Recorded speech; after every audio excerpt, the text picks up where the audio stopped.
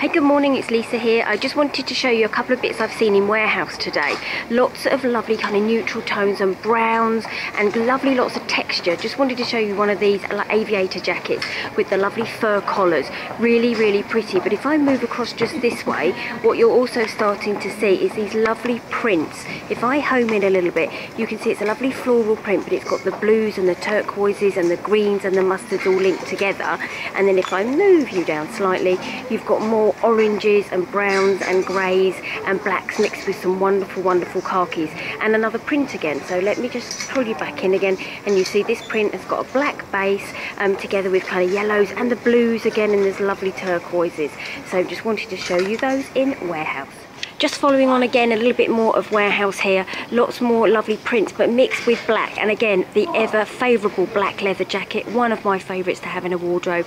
Um, but let me just draw you in to this little dress here.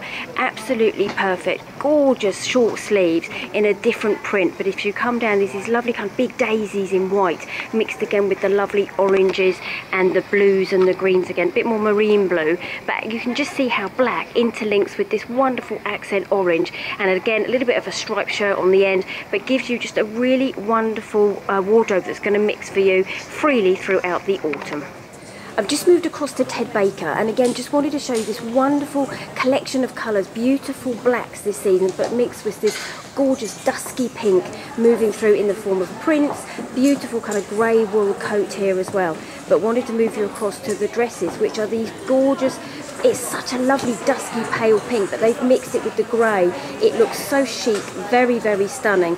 And if I just walk across just slowly over here, you'll see how they've interlinked it with this lovely chestnut wool long line coat.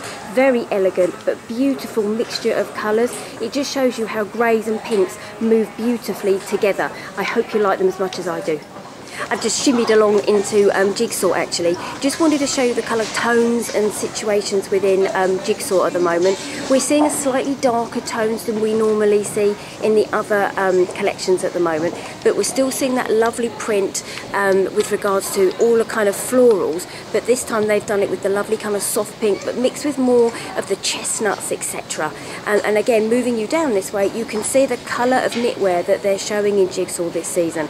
Lovely kind of soft dusky pinks, very kind of marshmallow tones, but then they've also done an awful lot of muted tones such as the greys, the lovely dusky purples, and that lovely almost dusky rose as well.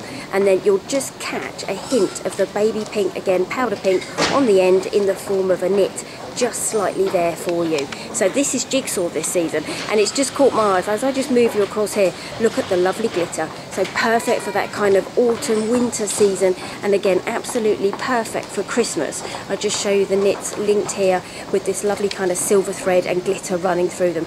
Beautiful, absolutely stunning.